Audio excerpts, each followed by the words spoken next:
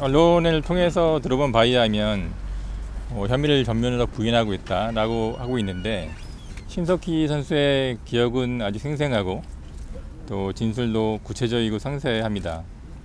빨리 조지현 코치가 반성을 하고 모든 범죄 사실 인정해서 어, 심 선수로 하여금 조기에 이 사건을 종결시켜서 어, 빨리 선수로서 활동할 수 있도록 협조하는 것만이 본인의 죄를 벗을 수 있는 길이 아닌가 생각합니다.